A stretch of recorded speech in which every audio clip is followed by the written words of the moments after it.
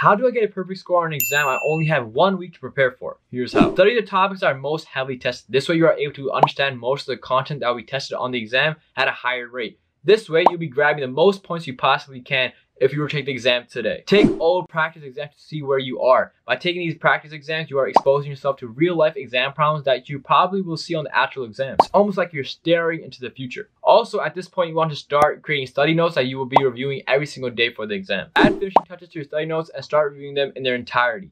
Also take more practice exams because that will build your confidence and confidence is a key to great exam success. Take three deep breaths when you get the exam paper and then good luck, you'll crush it. This is a one week fast track to exam success and if you want more study tips for school or anything, be sure to subscribe. Peace.